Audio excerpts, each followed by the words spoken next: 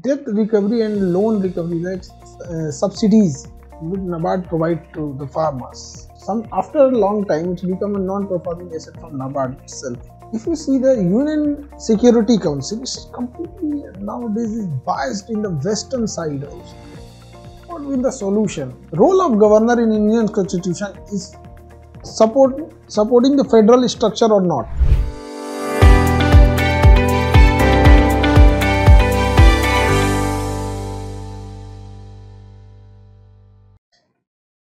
I come in?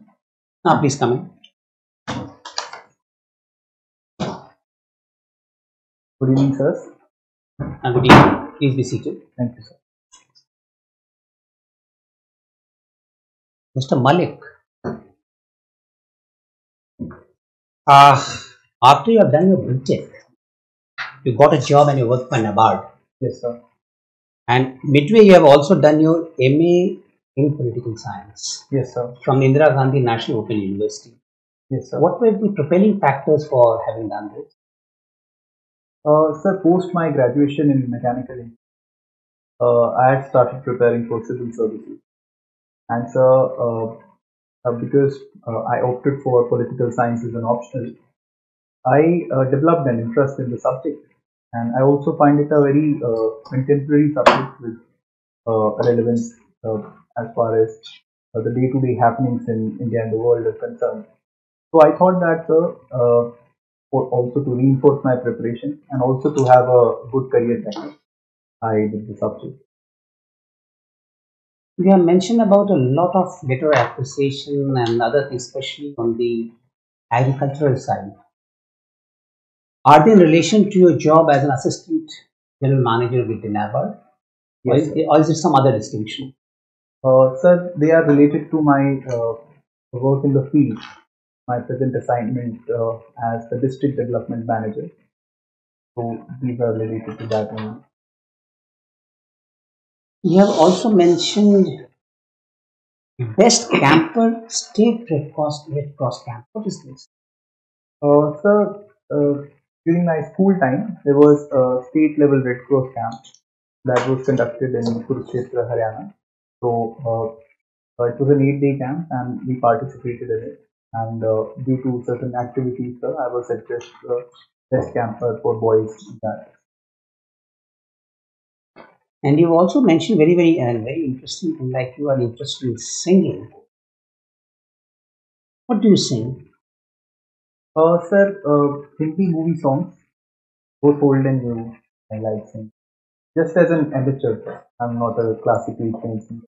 we, would, we would like we would like a demonstration over here, but at the same time, can you tell me something like we always used to keep on saying that the old Hindi songs, the old Bollywood songs, are etched into our memories, while the new ones, the moment you come out of the cinema hall, what would be the possible reason for this? Uh, the first reason I believe is the uh, nature of music. So we have a very soft, subtle music when it, we talk about the 70s, 60s, and 80s. And it's also to do with the melodious voices of uh, the likes of Muhammad Rafi, Kumar, Lata Mangeshkar. So uh, I believe that there's still no match to the, the prowess of their singing in contemporary time. Third, sir, also uh, I believe the lyrics factor is very important because those lyrics people could relate uh, more with, and most many of the songs also had a message uh, which was relevant also. So perhaps uh, these were the factors. These are the factors I believe. But don't you have uh, uh, a talent pool of new singers as well, like Jai Ho? You must have heard about Jai Ho. Yes, sir. What is that? Uh, sir, Jai Ho is a song uh, that is composed by uh, uh, A.R. Rahman and also uh, sung by uh, Sukhwinder Singh. That was in the movie uh, Slumdog Millionaire. and Also got an Oscar award uh, for the best song of the year. So we do have a good talented pool of singers, but sir, at the same time, uh, due to the emergence of auto tuning and all, so many of the uh, not so uh, talented singers are also sounding very good when we sing uh, hear them on uh, like playback. So Do you also have some idea about the ragas, the various ragas in Indian music? Uh, so ragas are uh, musical compositions. Uh, basically, there are uh, 108 rags in the Hindustani classical music. So there are me- melodious compositions, and uh, they follow certain rules, uh, like uh, they should be at least there should at least be five swar in one rag. And sir, also uh, there are specific times for singing and presentation of a particular rag. There's a particular way of singing a particular rag also. So this is uh, what I know about the rags. What is hip hop music? Hip hop is uh, one of the contemporary styles of music uh, that emerged in the uh, 40s and 50s and got popular uh, in the 80s and 90s. And sir, it's more of a fast-paced music. Although, sir, I don't know about the technical nuances of it. Have you heard about Boney M? Sorry, sir, I'm not able to. Are you also interested in dancing? No, sir. Thank you. I see that you had a change in school Yes. last year. What was the reason for that you did not want to continue in the same school? There was some administrative requirement. Uh, sir, actually, uh, till I was in 10th class, so that school only had uh, the, the education till 10th class. Okay, that's it. And uh, you done your MA through IGNOU and take a bit of time. What was the reason for taking so much? Maybe you were busy with your job I, and also with your civil services preparation. You've taken five years. Yes, sir. So you think you could have done it a little earlier also? Uh, sir, actually, I did my first year uh, by 2016. Like I joined in 2015, uh, but sir, in December 2016, I uh, I started working in NABARD, and sir, there were official uh, constraints. I could not get the leave, so I could not take the exam in the next three years. So eventually, sir, in the fifth year only, I could uh, manage that time. So how many hours of working do you have in from what time to what time in the Uh, sir, the office hours are from 9:30 to 5:30. But sir, since I'm in the field assignments since the past five years, there are no fixed uh, timings, sir. Sometimes we have to even work till 9 or 10 and even on the weekend. is it once in a while or usual pattern is working till about 10? Uh, sir, in the field, uh, at least two to three times a week because sir, there's a lot of traveling involved also. So uh, it happens that we have to. And your weekends, your Sundays, need time for preparation for that, for your IGNOU exams or study? Uh, sir, definitely one could manage that time, if I believe, sir. Like it was not a difficulty, but getting eight straight leaves in uh, a span of say two weeks, three weeks. Somewhere, sir, that was a difficulty back then. So that's why I could not manage it. Okay. You were the disciplined captain at school. Sir. Tell me some uh, good moments and some memories that you have of the school where you found it uh, getting into some anxious moments, not able to control or having some issues. Did you uh, get into any of these situations? Uh, sir, although uh, for one year I was uh, the discipline captain, so I have fond memories because I could instill cer- certain good uh, activities. Like, sir, uh, we used to uh, see for uh, who are the people coming late, so we used to maintain a list, and we we find it uh, we found it out that eventually it got reduced because of the naming and uh, kind of a thing. Second, sir, the dress code was also strictly followed. Uh, so we used to have random checks during assembly hours. And also we maintained the uh, discipline for moving in lines. So these things we could do. But sir, there was a, a time when just before the Diwali, so it was uh, certain students they used to burst crackers in the school. So there uh, we need to we, we had a lot of anxious moments because uh, our task was really difficult. We need to find uh, any such activities happening. We need to do random checks of bags also. So still uh, a few times we could not prevent it from happening. What was your method of keeping the discipline under check? Either by correcting yourself or by reporting to the teachers or su- superiors? Uh, sir, as far as uh, the uh, things related to the uh, uh, the uniform discipline. So we used to tell the students if uh, anything like happens that they're not wearing proper tie or belt or anything like that. So we used to tell them that from tomorrow, please make sure that you uh, dress properly. But sir, when it came to coming late to the school, so uh, we used to make sure that the student only gets inside the school premises or the classroom once they get the permission from the uh, their respective class teachers. And in some cases, if there is a, a repeated uh, violation, then sir from the principal. Okay. So you used punitive tactics or other kind of tactics, motivational or what was it? How did you motivate people to be more disciplined? And was there any change during your time? Sir, I believe that most of the tactics were uh, kind of check, checks and balances in nature. Uh, because, sir, I believe uh, if I'm now made the captain, uh, uh, I would for some motivation. But uh, more or less, sir, they were of checks and balances, monitoring, and also reporting uh, certain things. Okay. Abhimanyu Malik. yes, sir. Tell me something about Abhimanyu, Abhimanyu from Mahabharat. Sir, Abhimanyu uh, was a was a warrior in the epic Mahabharata. He was the son of Arjun, uh, very well known for his bravery and courage that is ex- uh, exhibited in the Mahabharata war. You know about J.C. Bose, Jagdish Yes. Chandra Bose. Yes, sir. Sir, he was a uh, he was a, uh premier scientist of uh, the country, Jagdish Chandra Bose. His works included uh, research on the plants and also uh, related to certain radio telecommunication. What was the name of his instrument which he discovered to justify the plants are living thing? Sorry, sir, I don't know the answer to this. Nowadays, is too much use of pesticide in the crops. It is really dangerous for our health. How it's affect our ecosystem. Uh, sir, indeed, overuse of pesticide does uh, negatively impact our health.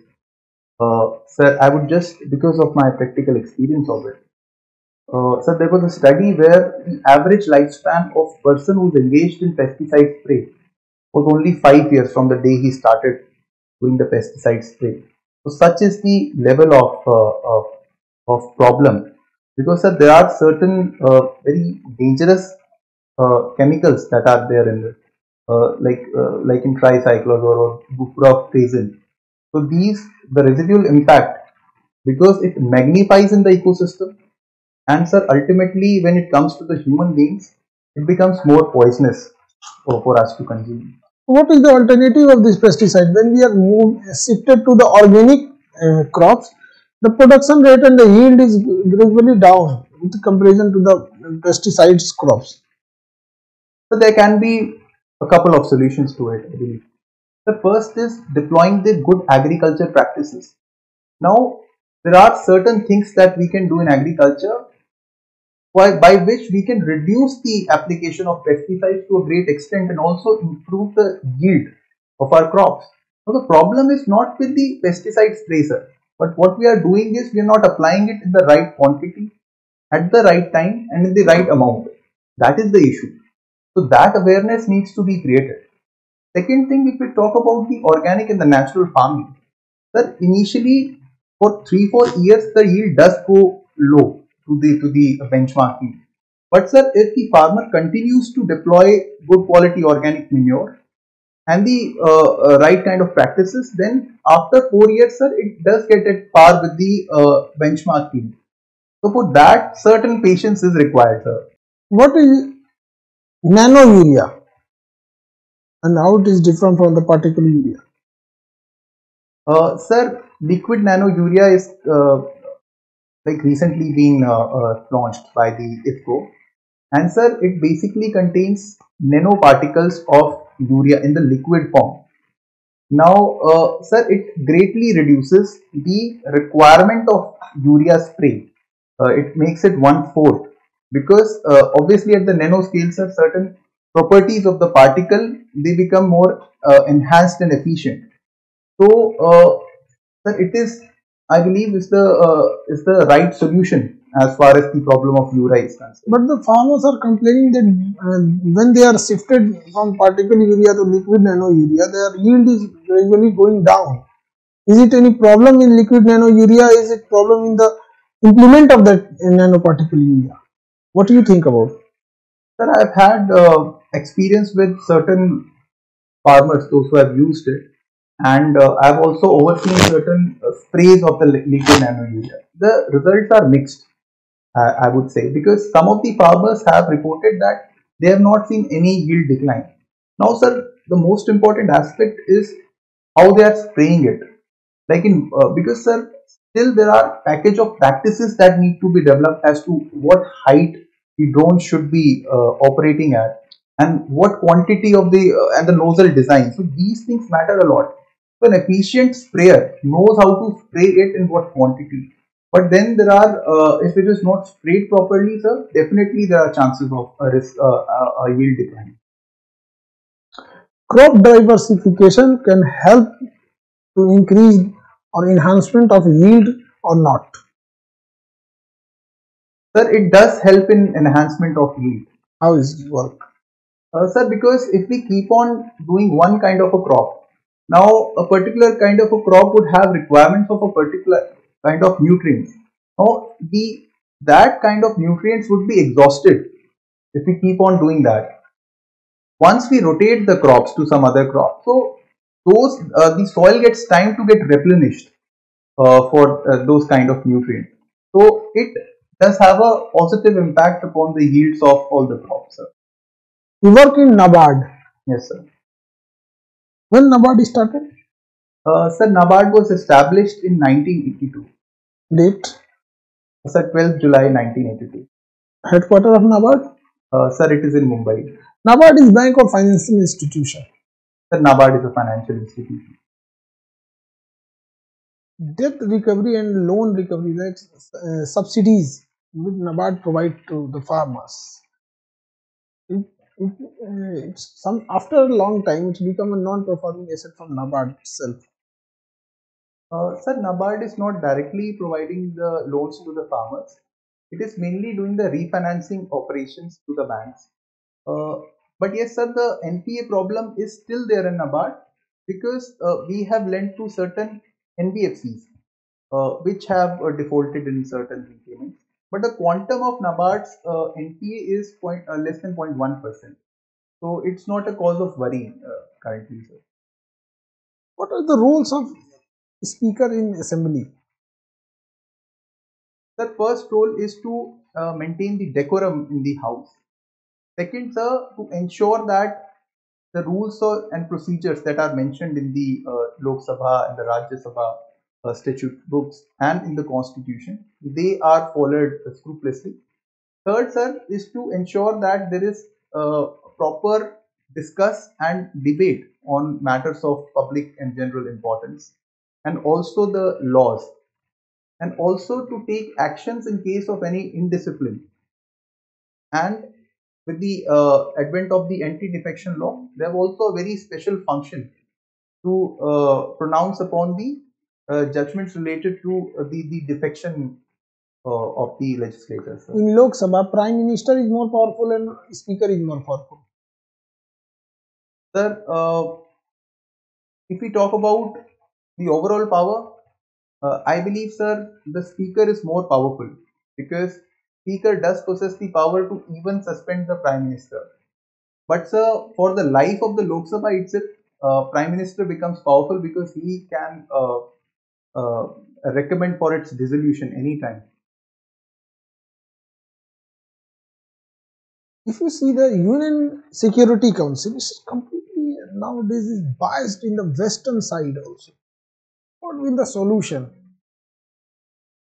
UN General UN Security Council doesn't solve the Kashmir issue, not solving the uh, Israel uh, Hamas conflict. Moreover, the Ukraine and Russia war is going long and long. What is the relevant nowadays? You have you are thinking that there is a necessary reform in UN Security Council or not?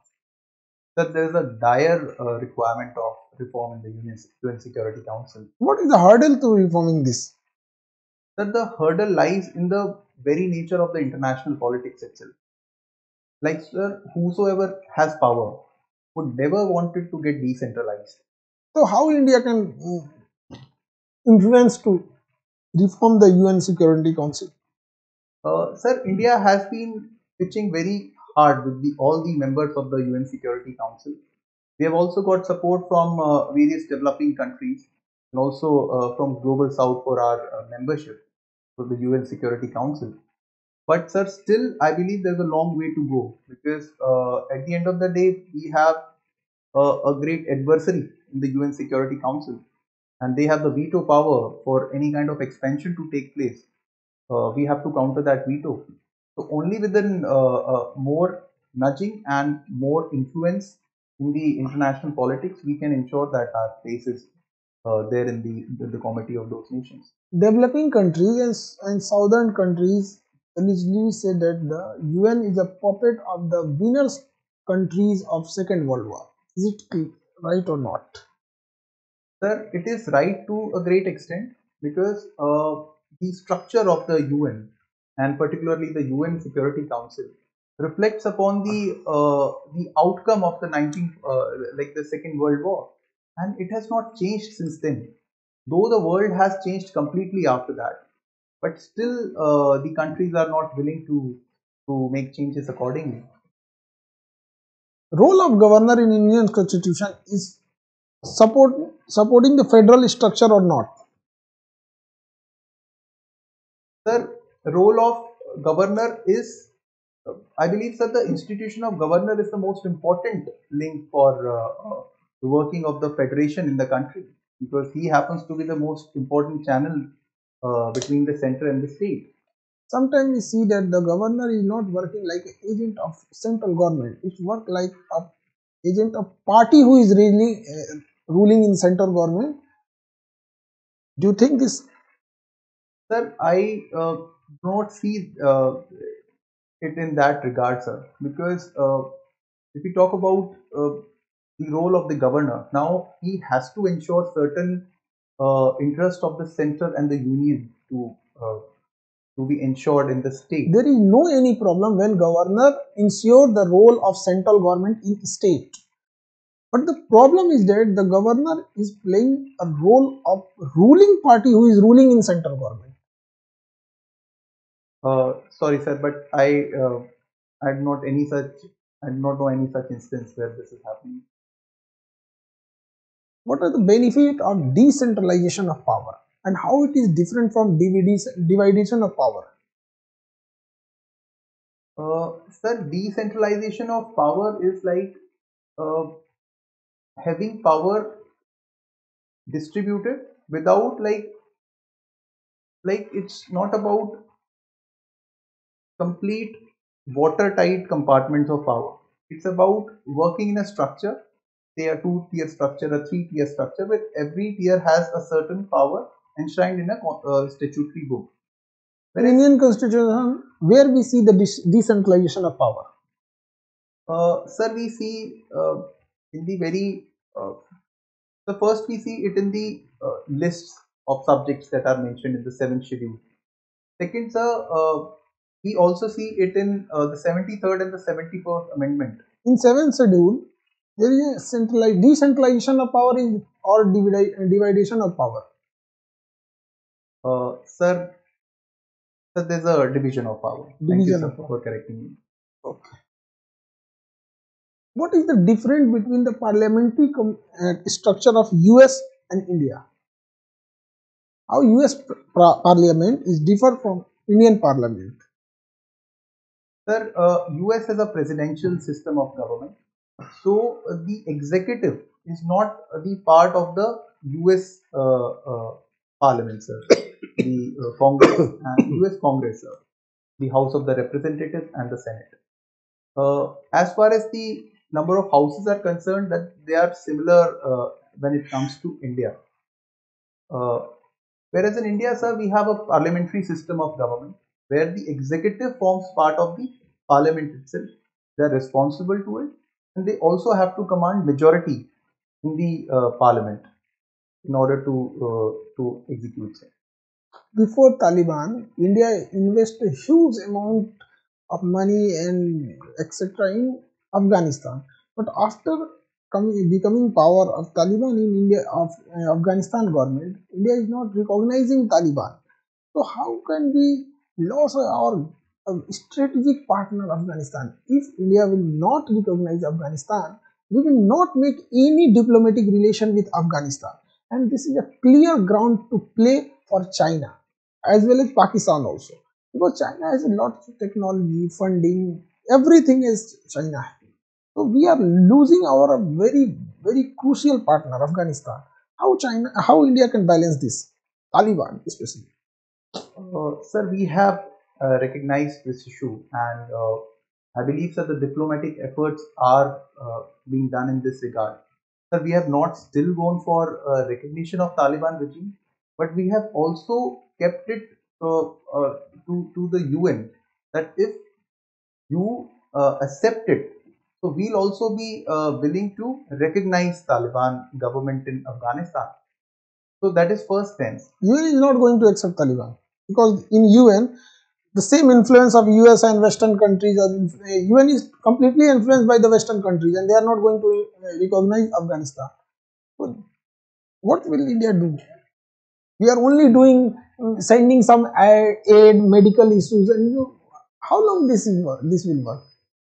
But I believe that at some point of a time, because uh, we have re reiterated our stance that our cooperation is with the people of Afghanistan. So somewhere we will be continuing that and for that sir we would be uh, uh, would, would be needing some kind of meaningful engagement with Taliban also to keep China at bay uh, but sir at the same time we cannot forget and government of India has reiterated that uh, it is a terrorist regime after all and uh, it's not very easy for us to go for an open diplomacy with Hamas, India doesn't declare Hamas as a terrorist organization, but India declared Taliban as a ter terrorist organization.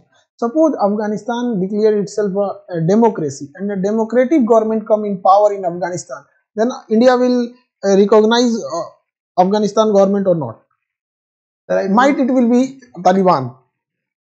Sir, I believe uh, if a if a true meaningful democratic government uh, takes shape in uh, Afghanistan, then probably we would be uh, willing to accept it. Good. Thank you, sir. Mr. Malik. Yes, sir.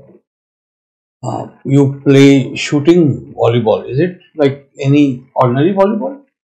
Uh, sir, shooting volleyball is one of the variants of uh, uh one uh, volleyball. What's the difference? Uh, sir, shooting volleyball basically has seven players uh, against what we have. In, we have six in the conventional one. Uh, sir, the uh, players have to pass over the ball to the other side of net in one attempt in shooting volleyball, whereas we have three attempts in the conventional volleyball. Okay. Now, you tell me, like IPL, is there any Premier League in volleyball also? Uh, sir, yes, there are many uh, premier leagues uh, across the globe, sir. No, no, no. In volleyball, in India, like we have uh, IPL or Indian Soccer League. Is there any such kind of uh, league in volleyball? Yes, sir. There is also a volleyball Premier League in India. What's it called? Sir, I'm not sure about the name. So, is it uh, held yearly or bi-yearly? Any idea? Sir, it's an annual affair, as far as I could recall. So, do you know when it's being organized? Sorry, sir. No, no problem. Now, India has expressed its displeasure with the sovereign rating that uh, many of these rating agencies give, particularly to India. You tell us why India is so disappointed? Since you are in the banking sector. That most of the sovereign credit rating agencies they have not upgraded the uh, India's credit uh, credit rating since past two decades. Also, a lot of water has flown in the past two decades. We are now the third largest economy. and uh, fastest emerging economy in the world. We're third largest economy. Uh, sir, in terms of PPP. Yes, in terms of people. Yes, sir. And uh, also, sir, our macroeconomic fundamentals, they're very sound. If we talk about our inflation is quite under check if we talk about other economies. Uh, but, sir, the kind of criteria that are being used by certain uh, agencies include uh, uh, uh, include aspects like rule of law. Also, these are very very subjective kind of parameters. So, our our basically point of contention is this only that you should rather work on our uh, our, our economic fundamentals. What is have- that economic, basic in, economic fundamental that India is putting forth? Uh, sir, first is our uh, GDP growth rate. It happens to be uh, very decent in past, I would say, past two decades. Second, sir, our fiscal deficit is also under check uh, if we talk about the other economies of the world, and also the overall public debt. Third, also, sir, we have never defaulted on any kind of payments to uh, outside agencies or uh, other countries. And any which way, sir, we have a very limited public debt as far as the outside, uh, uh, like countries or agencies are concerned. Okay. Now, you tell me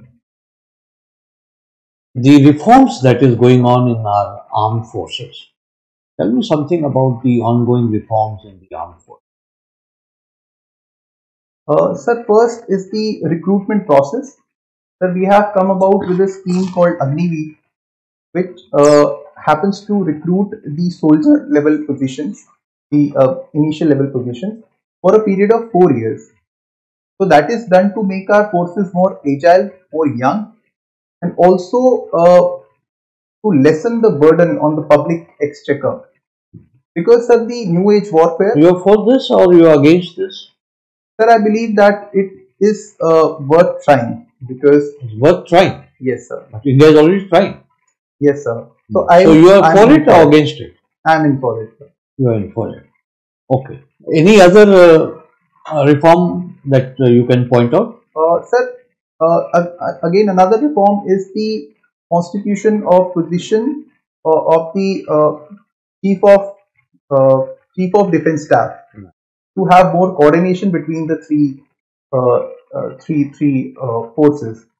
Again, sir, we are uh, now inst- in, uh, instituting the integrated theater commands for better coordination and also efficiency for operations.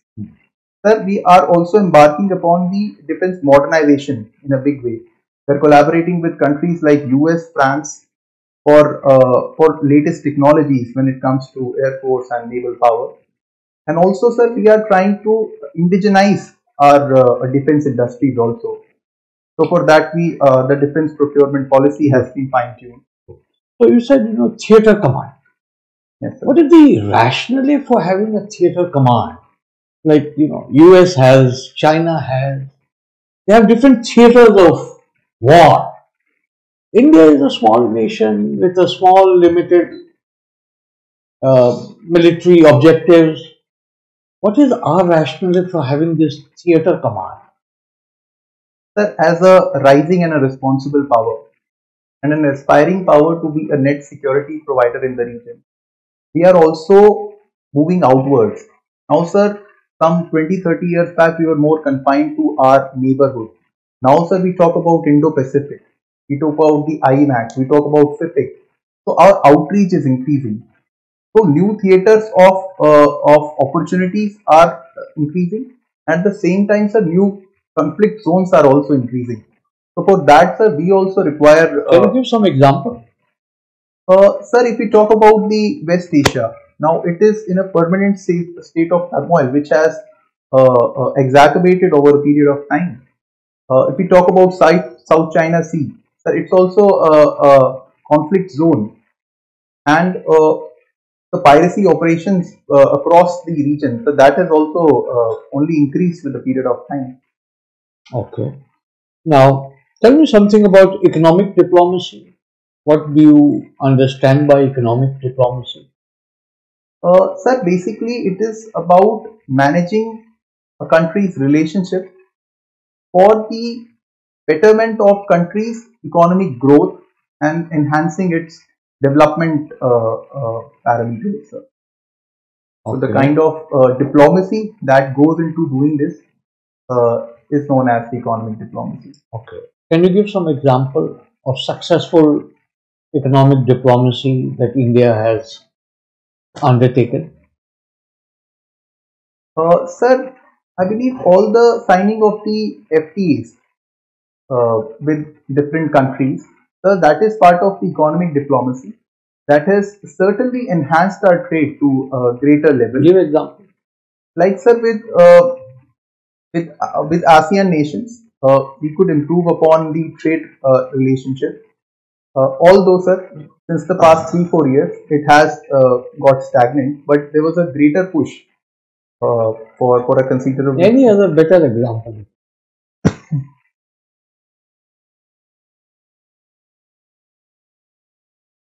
Sir, with uh, UAE, we are seeing that uh, with the with the signing of the free trade agreement, uh, the level of trade has gone up recently. Okay. Thank you. Thank you, sir. Now you are going to select in this examination थोड़ा सा आप देख लीजिएगा कहाँ पे आप दो चार गलती किए थे। ये जगदीश चंद्र बोस की वो जो क्रेस्कोग्राफ जो इंस्ट्रूमेंट था, ये सब देखिएगा और फेडरल स्ट्रक्चर डिसेंट्रलाइजेशन और ये सबको थोड़ा सा देखिएगा। बाकी सब चीज़ें ठीक हैं आपके पास। अब उसका तो कोई वो नहीं होता कि क्या से कितने क्वेश्चन आ सकते हैं। No one can predict interview but इतना है कि आप हम लोग की ओर से परफेक्ट है।